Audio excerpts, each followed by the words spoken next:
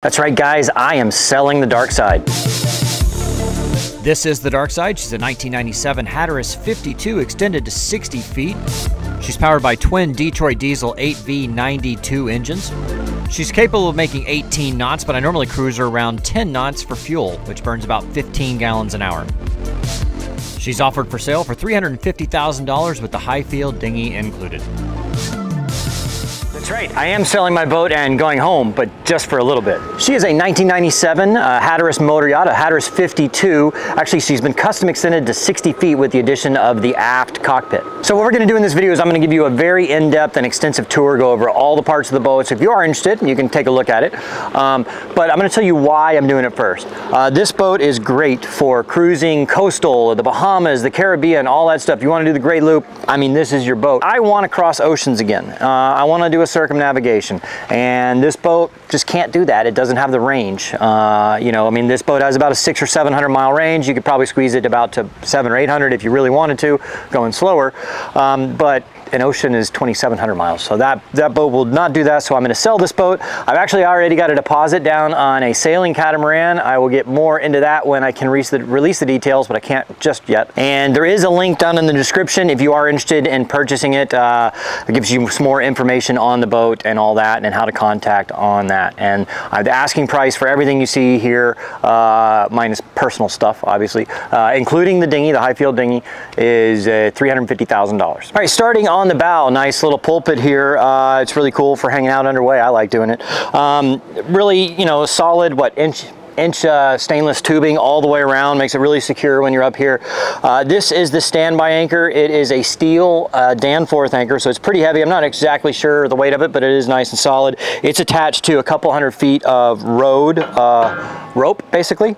And then below that, this is the Mantis 120, 120 pound uh, Mantis Marine, uh, I think it's the M1 or M2 anchor. I'm not sure the exact model, uh, but this thing is really heavy and it grabs really well. I really enjoyed having this thing. I, it was one of the upgrades I did on it, as well as add the swivel and then 300 feet of 3 8 inch chain uh, attached to this uh, Galley Maid windlass. I changed out, it had a quarter inch chain. Uh, I changed it out for the 3 8 inch, put a new gypsy on it, and uh, the, the windlass can be controlled with foot pedals here or I can control it from the helm station, or as we'll get to later, it has an aft cockpit with a control on it as well. And so it does have 300 feet of this 3 8 inch chain. Honestly, I would, uh, you probably should cut off about 50 feet of that because the last 50 feet, um, it will, there's just not enough space in the chain locker and it'll kind of, it'll uh, castle on itself the last 50 feet. So honestly, that's what I would do I mean, if I were to keep this boat, uh, I would cut off 50 feet of chain so that it pulls in a little better. Coming back a little bit, I do have four fender holders and the boat does come with six of the uh, big, uh, I'm not sure, I think they're 18 inch fenders, but they're pretty, uh, pretty robust and those things are expensive. So it comes with them. Those things are like 120, 30 bucks each. Um, but so it's really nice, convenient to put those there. Plus we tie on a couple more when we're underway. Uh, and it does have these two storage boxes here. Um, on one on either side and we keep things like uh, our shore power cables and our bridle and cleaners and waxes and all that stuff in there and our dock lines when we're not on the dock. So it's really nice having that extra storage on deck for that. Uh, coming back aft it does have the hatch to the forward VIP cabin uh, so you can get a lot of airflow.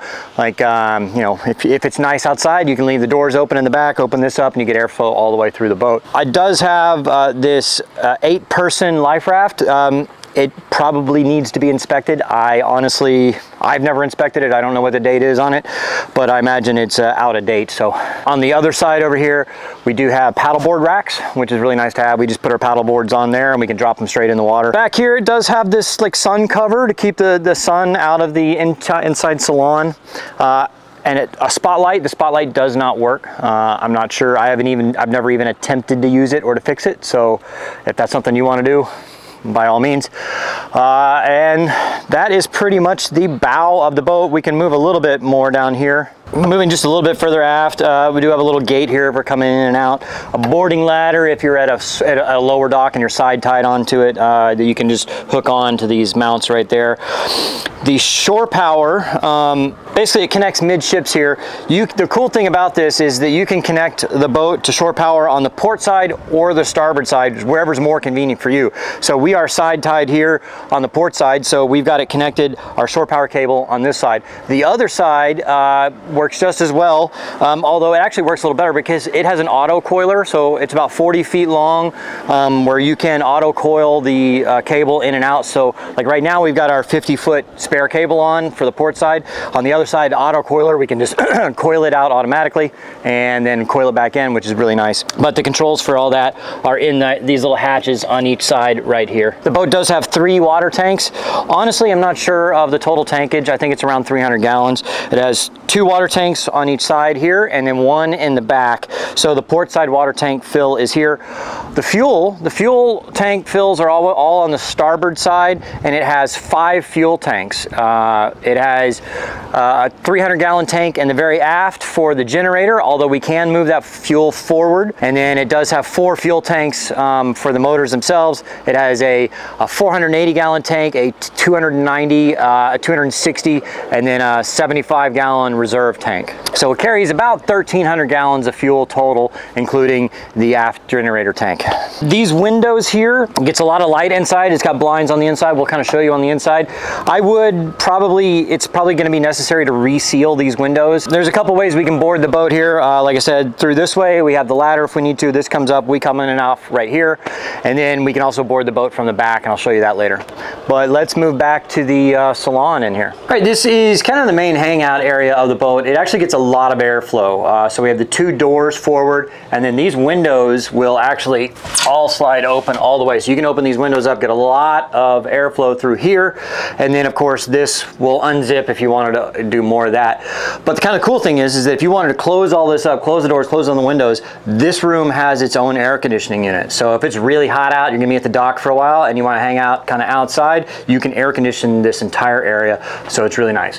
It has, you know, I don't know, eight, nine lights through here. It's got LED lighting around the windows, give it that kind of uh, mood lighting. Um, the furniture is kind of all wicker, came with it. Uh, we store all our toys and stuff back here, like our paddle, our, you know, life jackets and floats and all that stuff. And then on the other side over here, we keep our uh, scuba gear. And then on this side, we also store our uh, we call them Oscar, little floating dock.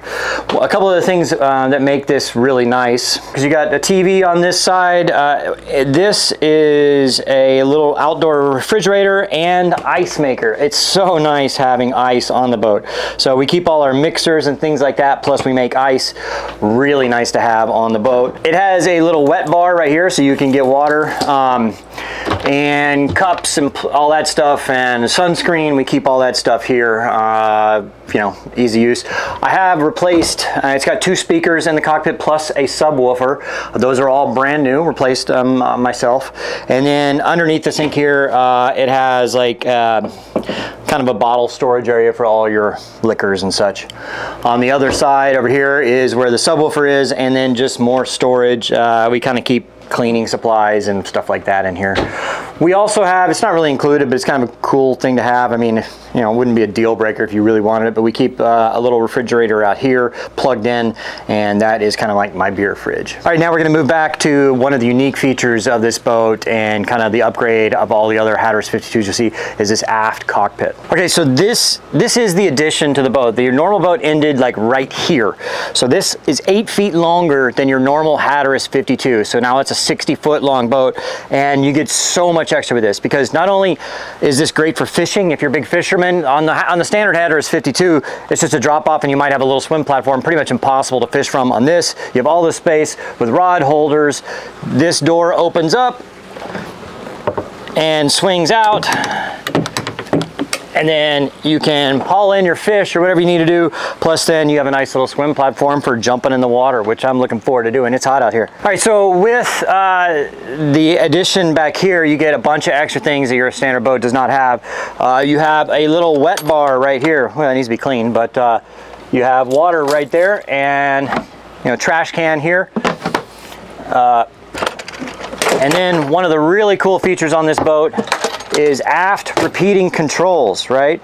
So I can steer the boat from back here. I have access to my bow thruster. I have my transmission and my throttles. I can control my windlass back here. I have a little meter that reads depth. I can stop the engines, or I can start and stop the engines from back here. So when you're backing into a slip, having this right here so you can see and do all this from back here is really great because on your standard Hatteras 52, you're way up there and you can hardly see the back of the boat. So this is really nice to have. Um, storage all under here. We keep all our like dive fins and snorkels and all that. And one of the really cool features of having this aft cockpit here is that this is a second generator. So it has a 20 kilowatt generator up that lives up in the engine room, and this is a 12 and a half kilowatt generator. It'll power pretty much everything on the boat. I mean, I've never run more than two or three air conditioners at a time. I've never run all five at the same time. I don't know, but it's really nice having the spare generator because it's a lot quieter than the other one because it's out here and it's more fuel efficient and you just have a backup, which is really nice. Uh, you also get uh, it's underneath here, you can't really see them, but you get an extra 300 gallons of diesel here and another 100 gallons of water here. Uh, and then of course you can step up and down here. You want to get off and on the dock from here you can and then a couple little steps right here. And then more storage underneath for all this stuff here. So it's really convenient to have and your normal boat will not have this. I'm really cool and really that's this is the reason I bought this boat is because it had this aft cockpit. All right, one more section of the boat to go through the helm station up here. Welcome to the helm station area here. You have your two captain's chairs and then seating all around on either side. All these windows will unzip, but mostly we just unzip this one, the two side ones and the back ones to get airflow through here and it does a pretty good job of that. But it's nice to have it enclosed when it's uh, wet or a lot of spray. So, uh, and then these seats are pretty comfortable to get up and in you drive the boat from right here. Uh, everything you'd need. Uh, we have an, it has a Simrad autopilot, uh, hydraulically driven. Um, your controls are here. Your throttles are on this side, and your uh, transmission is on the starboard side. It has wind instruments. It is not currently working. Uh, that would be an upgrade if you would like to do. it does have three chart plotters. It has two Garmin GPS 7. They got a 720 and a 721. The 721 is currently not working. I'm not sure what the problem is I haven't had time to delve into it. it. Might be just a power issue, but it has a brand new nine inch Garmin that I installed and also installed a brand new uh, HD20 uh, radar as well. So that works pretty well. Uh, depth meter boat speed all that stuff. It does have your stabilizer controls right here uh, which is really nice. So uh, it has fin stabilizers. So fins on each side, they're hydraulically driven. And if the boat starts to heel over, it'll, it'll push that fin up and push you back the other way and works really well underway. Uh, at anchor, it doesn't work at all because um, you need to be moving forward to do it and it needs hydraulic power. So it does not do that. All your switches and your bilge, bilge pumps and your ignitions and your lights and uh, all that stuff are on this panel as well. Uh, and then you can access under here to get to all the wiring. You just got to crawl around It's not too bad. Brand new ICOM VH, uh, VHF. Uh, that's the IC M506. I installed that. I also installed that Garmin 9-inch chart plotter and, like I said, the radar. And so those are the upgrades I've done on the, avi on the avionics, on the boat uh, marine uh, navigation equipment and has all your displays here.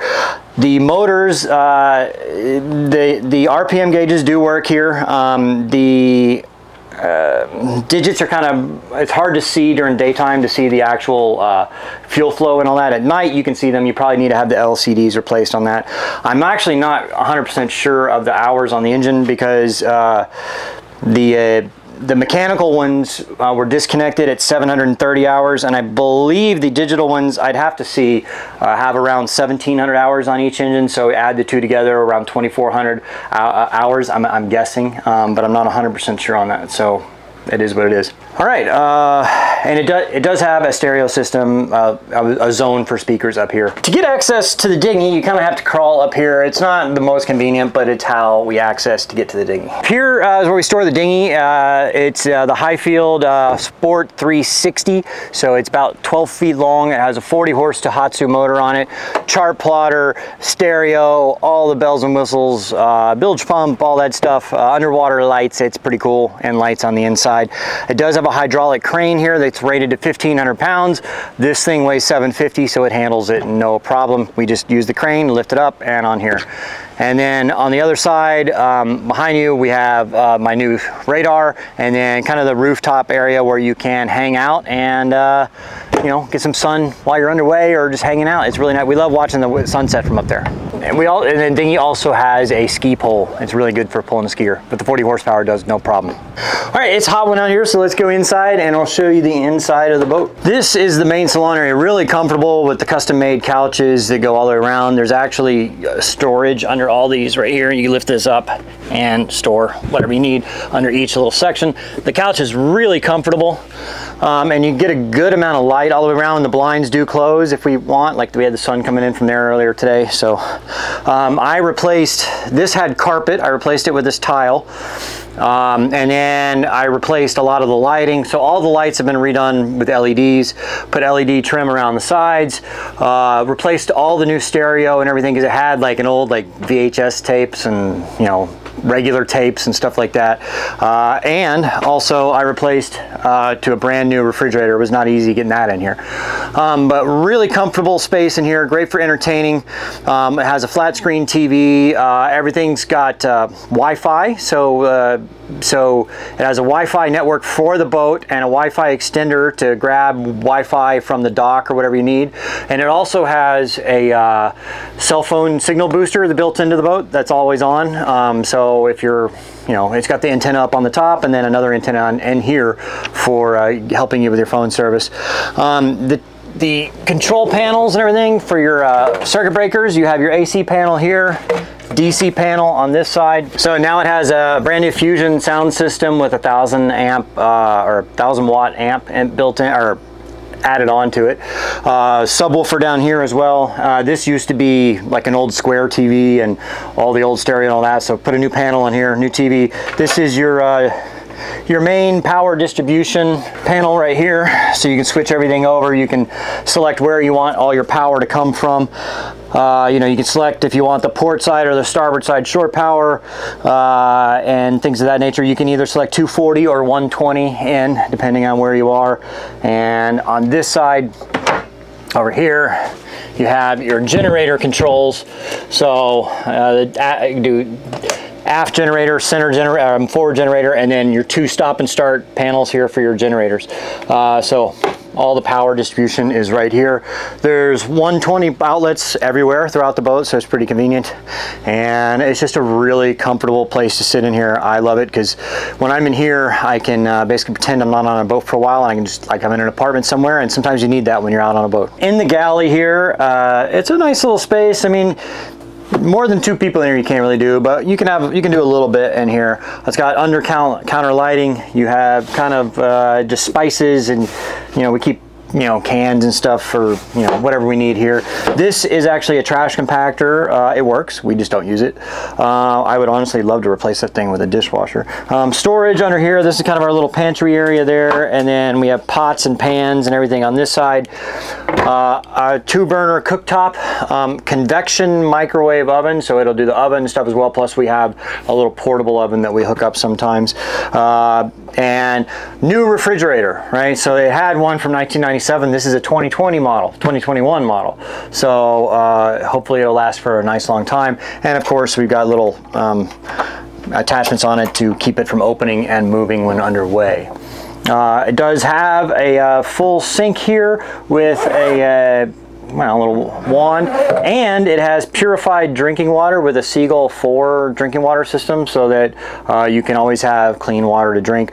Uh, more storage for pots and or plates and cups and all that there. You have your silverware and your utensils and all these things over here.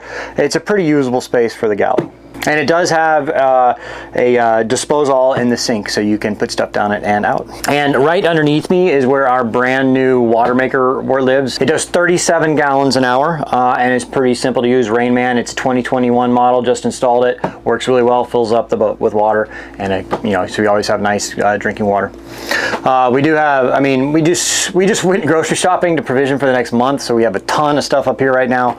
Um, but I tell you one thing that's always that's nice to have is just having a full-size freezer. I mean, on a boat, having a full-size freezer is nice and then the ice maker outside pretty awesome. So uh, all right let me come over here. This is just kind of excuse the mess. I this is my workstation. You can have it as your dining room or your breakfast table, whatever you'd like to do. Uh, this I have set up for my office and this is where I do all my work. Because we normally, if we're gonna eat, we eat outside in the, in the salon. So uh, it does have a really big air conditioning unit for this room. Uh, I'm not sure how many BTUs, I think it's like 18,000 BTUs. It'll keep basically the whole boat co cool. Uh, I mean, we, you know, we're not even running the forward air conditioner right now, um, but it, it stays nice and cool down here.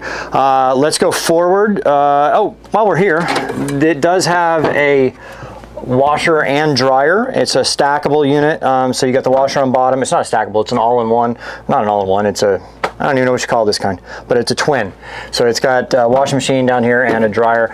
And I don't know if you've never had, if you've been cruising and you've never had a washer dryer on a boat, makes a really big difference having it. And I any boat I have from now on will have one of these. And so now we can come forward to the forward cab, VIP cabin. Uh, so this is the Ford VIP cabin. It has its own hatch up here, so it gets lots of light. It actually has like a little vent we can put there too if we want to keep it darker to close things off. Uh, good amount of space, kind of a partial walk around. You can come around the side. I believe this is a queen size bed. I'm not sure what this is called. I don't know. Um, but you sleeps two people comfortably. It does have a good amount of uh, drawer space here. You have drawers underneath here and here on each side. There's four there. And it has a pretty, you know, more drawers each side of the bed uh, and then reading lights on the back. And uh, on the back there, let's see here. There we go. So reading lights on each side. Um, uh, you access the chain locker behind that beautiful painting it's installed. I think that's just wonderful. Don't you like it? Um, and it does have a decent amount of closet space uh, on this side and then a smaller closet on this side over here. Uh, it does have its own air conditioner for just this cabin as well. Uh, and attached to that is its own head right over here. Uh, so this will just close up and it's a pretty decent sized shower with a seat inside. It has a vacuum flush toilet. So you turn it on over here uh, and it creates, it starts a vacuum punch, pump, which I just replaced the vacuum pump on this toilet. And then when you flush, it's a vacuum flush system that uh, just sucks everything out down into the holding tank. Um, I would not leave that pump on um, because uh, this head, I, I, believe maybe one of the valves in the toilet itself is leaking a little air. So if you leave that suction on, it just keeps running the whole time. That's one thing. If you're going to buy the boat, maybe have that checked out to see uh, where the air leak is coming. It's not like leaking poo or anything. It's just sucking in air into the system. And so it, that pump runs all the time. So we just make sure we turn it off.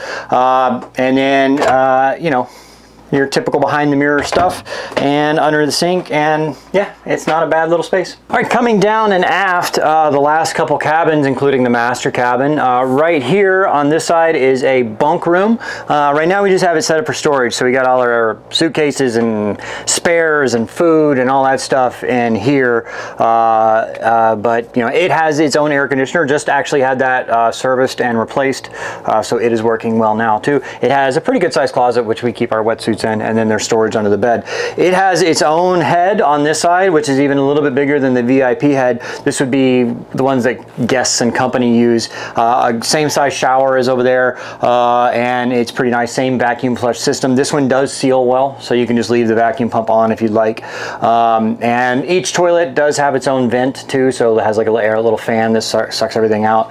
Uh, and it's a good size uh, head. Almost the last thing, we're gonna do the engine room last, but come on here to the master cabin. It it is quite spacious.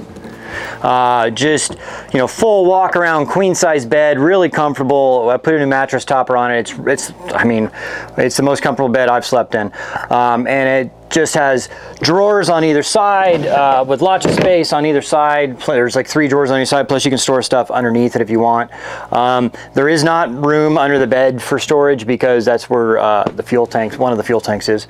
Um, and uh, reading lights on each side, lots of nice light. And here we kind of have these uh, LED lights going around the side too. It has a really nice big bathroom ahead with its own, it actually has a bathtub. So it's a shower tub combo, so you can do that. It does have a hot water heater, like a 110 volt, plus it'll also take engine heat. Um, so you always have hot water, which is really nice. And uh, I mean, it's just a really nice space. And then on the other side over here has a full walk-in closet and you know just I mean where do you get that on a boat right? And then uh, there's LCD or LED TV LED TVs in each of the bedrooms and of course in the salon and upstairs as well. Uh, so just I mean for living I mean it doesn't even feel like you're living on a boat when you're back here. It feels like you're just in a small apartment. All right so finally here is the last thing we're going to show you is the engine compartment. It's got uh, so we can come on down here. Kind of the nice thing here is that it's uh, full size. You know, I can stand up in here uh, and work around, work on things. It's got uh, engine room. So twin Detroit diesel, 720 horsepower each. Uh, eight, you know, V8s. Uh, they are two-stroke, so you get basically every every stroke is a power stroke. Uh, it's a little complicated on how that works. You, you can Google it and figure it out eventually. But it's got one exhaust valve. It's different than your standard engine. It's not like a regular two-stroke where it's like uh, the oil is mixed in with the fuel. It's actually got a separate sump and all that. Um, but so um, it's got your four air conditioner chillers out there, plus there has one separate air conditioner for the small cabin. So each bedroom has its own air conditioner, plus the salon has one, plus the upstairs salon has one. And the 20 kilowatt uh, Onan generator is in here, um, and so that works really well. We'll power everything in the boat. Uh, toolboxes, spares, all the stuff you'll need is in here and the batteries and the ship service and the breakers and stuff are on this side over here. Okay, the only other things I can think of that we didn't actually show you, it does have a bow thruster under there with its own battery charger and everything. I didn't like take you down into the bilges and all that, but uh, if you'd like more information, you can. Um, but there you have it. The boat is for sale. There's a link down in the description if you'd like to have it. Uh, we're going to be taking it over to South Florida in mid-June. If you're on the East Coast somewhere, we can talk about it if you're interested. Maybe I can bring it up to you or wherever you're going, so let me know. Uh, 350000 when I was what I'm asking for it. Um, so I hope you guys like it and it's a really fun boat. I've enjoyed my time. I, oh man, it's been 18 months. If it, if it wasn't for the fact that I was going across, wanted to cross the Pacific again, I would definitely keep this boat. So thank you guys for watching and I hope you enjoyed it.